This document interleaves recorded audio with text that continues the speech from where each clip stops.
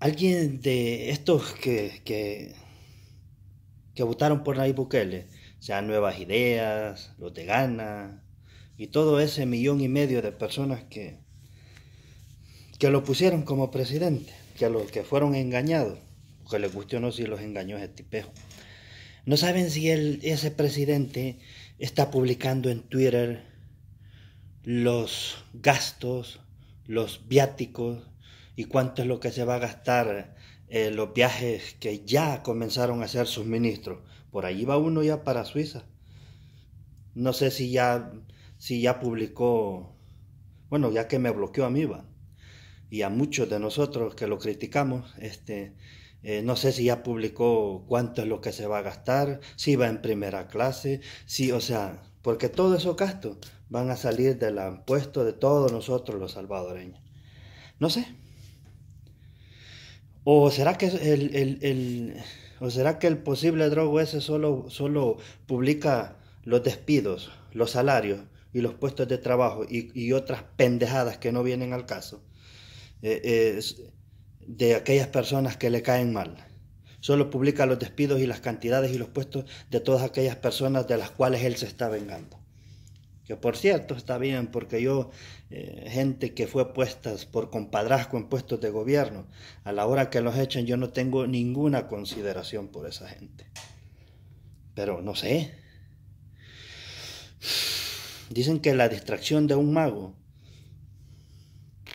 o sea, el truco eh, para que un mago este, controle a su gente, o sea, los pone a ver una cosa, pero eh, la distracción está en otro lado. Es justamente lo que hacen ahí Bukele.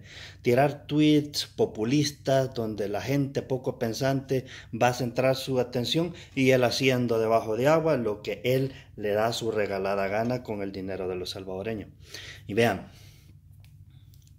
señor presidente, esto no es nada personal, porque muchos me dicen, muchos dicen, no solo a mí, sino que a los, a los que criticamos a Nayib Bukele, que por qué nosotros no criticamos a los otros. Sí los hemos criticado, lo que pasa es que no se dan una vuelta por el canal para ver este, eh, las críticas que hemos hecho a los partidos anteriores. Solo que, ¿por qué criticamos más a Nayib Bukele? Porque nosotros, nosotros que, que somos pocos, y a la vez muchos, pero no lo suficiente como para haber evitado que Nayib Bukele llegara a la presidencia, nosotros sí ya despertamos. Nosotros sí ya vimos que, que, que los tipejos esos en gobiernos anteriores hicieron la misma pendejada que Nayib Bukele está haciendo, engañar a la gente las pruebas y todo, ahí está. El que no quiera ver las mentiras que ese tipejo está diciendo, simplemente porque no le da la gana verlo, o porque está cegado, o porque quiere creer en un cambio. Se dejó vender la paja que, que, que Nayib Bukele le dijo de que iba a hacer las cosas diferentes, que no iba a reciclar funcionarios públicos y está haciendo todo lo contrario. Pero para todos aquellos que nos dicen que por qué solo criticamos a Nayib Bukele, que, tiene, que hay que darle la, que, que solo tiene dos semanas, 15 días, qué sé yo. Pero, o sea, curiosamente no dicen eso para catalogarlo o, o, que se esté dando el, el, el, puesto de mejor presidente del mundo. Por Dios. Y, como, y, y, y, para esos que nos critican, que dicen que solo de Nayib hablamos, no tenemos mucho que decir nosotros del FMLN y de Arena, porque todo lo que se diga en contra del FMLN o de Arena, ya se sabe que es verdad. ¿Quién no sabe que esos partidos hijos de puta son una mierda? O sea, que hicieron poco.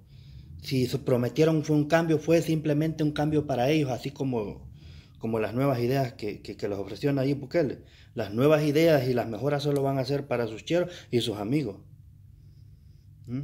Pero como dijo el mismo Nayib, ¿Para qué los que nosotros vamos a estar gastando eh, eh, municiones en querer cazar sopilotes? me refiero a que vamos a pasar criticando a las cosas que hicieron o que han hecho el FMLN y Arena, si ya se sabe que son una mierda. ¿Para qué, como dijo Nayib Bukele, águila no caza mosca? ¿Para qué vamos a perder el tiempo en estar hablando de esos sinvergüenzas? Nosotros, los que ya despertamos y que no nos da paja ningún político demagogo como es Nayib Bukele, que ha salido peor que Arena y el FMLN juntos, nosotros no vamos a gastar eh, eh, municiones en esos opilotes por lo menos en FMLN y Arena.